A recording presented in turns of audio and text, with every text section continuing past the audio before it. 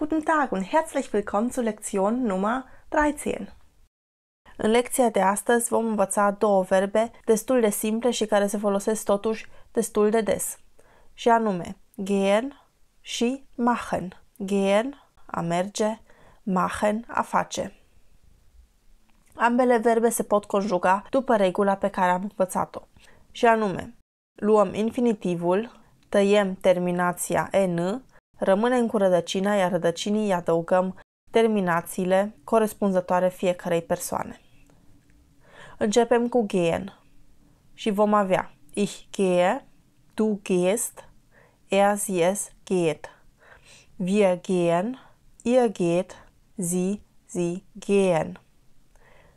Acest H în gehen aproape că nu se aude deloc, dacă nu chiar deloc. Am mai spus odată că dacă avem o vocală urmată de acest H, vocala se va pronunța ceva mai lung, iar H-ul nu se va auzi. Uneori se mai aude acest H în gehen, dar, de exemplu, la du gehst, nu se va auzi acest H deloc, nu se va auzi niciodată du gehst. Ar suna foarte ciudat. Dar nici la wir gehen sau la sie gehen nu se aude neapărat acest h, doar este posibil să se audă din când în când și la nativi, depinde foarte mult de pronunția fiecăruia. Verbul machen, a face, ich mache, du machst, er, sie, es macht. Wir machen, ihr macht, sie machen. În machen, H-ul se aude, dar acest C nu se aude activ. Dar dacă îl comparăm cu G, ne dăm seama ce rol are de fapt acest C. Dacă nu am avea acest C între vocala A și acest H, H-ul atunci nu s-ar auzi, deoarece am avea o vocală urmată de H și vocala s-ar pronunța mai lung. Deci, de regulă, CH se pronunță H, machen. Să vedem câteva exemple. Wir machen Hausaufgaben. Noi facem teme sau teme de casă. Sie machen Sport. Ei fac sport. Ich mache ein Video. Eu fac un Videoclip. Sie gehen in den Park. Ei merg în parc. Prepoziția in înseamnă în și de ce avem înaintea substantivului parc articolul den, este un articol hotărât, vom afla într-una dintre lecțiile următoare. Deocamdată puteți memora această propoziție ca un exemplu. Das Mädchen geht ins Kino. Fata merge la cinema. Acum nu mai avem in den ca la parc, ci avem ins.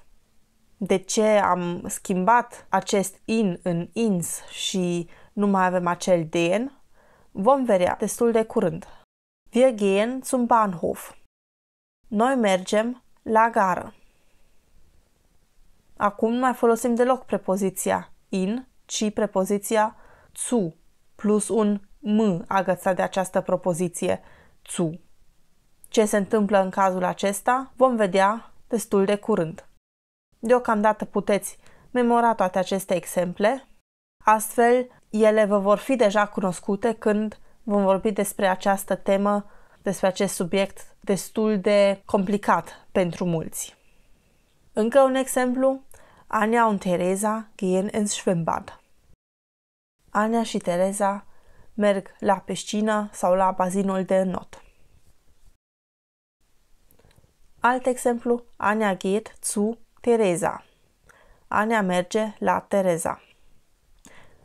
Și încă o dată, nu vă faceți prea multe griji deocamdată pentru aceste prepoziții cu acele articole hotărâte care s-au schimbat.